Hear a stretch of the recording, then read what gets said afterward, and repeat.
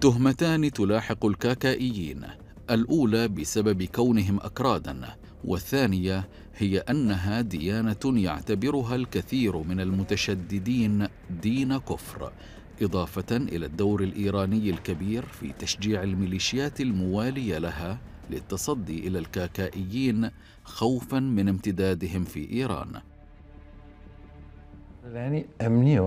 يمكن القول إنه حتى 2006 كان هناك استقرار أمني وبدأت بعد ذلك الانفجارات وبدأ النشاط القاعدة والبعثيين القدماء وبدأت معها عمليات القتل والاغتيال والتفجيرات والاختطاف والتهديدات وكان الاختطاف يستهدف الأغنياء وبالذات الكاكائيون منهم. لذلك لم تعد الحركة متاحة للعمل وبدأ الخوف والرعب يدب بين العوائل ولأن المنطقة تشمل أكثرية كردية والذين تعرضوا للظلم والاضطهاد وتم الاستيلاء على أراضيهم زمن النظام السابق. لذلك نشأ نوع من العداء بين المكونات في المنطقة. نحن الكاكائيون خذلتنا الجغرافيا لأن معظم المناطق التي يوجد فيها الكاكائيون محاطة بناس أميين لا يجيدون القراءة والكتابة. هذه مناطق لا توجد فيها جامعات أو مول كبير ومن يحكم هذه المناطق إما القائم مقام أو مدير الناحية. وإذا كان مدير الناحية طائفيا ماذا تفعل؟ فمثلا المحاكم في هذه المناطق تستمع إلى من يملك القوة والصوت الأعلى.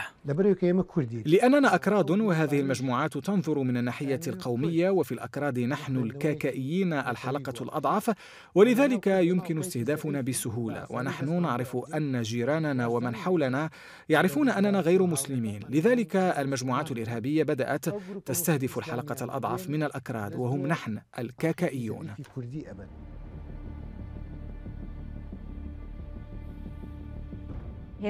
تتعرض بيوت الككائيين للهجمات وتتم سرقتها وتحرق بساتينهم ويقتل أطفالهم في المناطق الواقعة جنوب مدينة كركوك. لا الحشد الشعبي ولا الحكومة الكردية ولا حكومة بغداد يتجاوبون معنا أبدا. نحن في هذا الوقت مسلوبة حقوقنا كأكراد ولكوننا ككائيين. حتى السادس عشر من أكتوبر كان الأكراد يفرضون سيطرتهم على الأوضاع. وكانوا يدورون دوائر الدولة في كركوك وفي معظم المناطق المتنازع عليها. ولكن بعد السادس عشر من أكتوبر وسيطرة الحكومة العراقية عليها وقدوم الميليشيات المنفلتة وغير الخاضعة للقانون إلى هذه المناطق أصبح الأكراد هدفا لهم. الحق الأول لنا الآن هو الاعتراف الدستوري بوجودنا. وأن يأتي هذا الاعتراف من الأعلى من حكومة بغداد وأن يكون الككائيون من ضمن القائمة التي تشمل كل المكونات والأديان ويحق لنا العيش هنا في كردستان.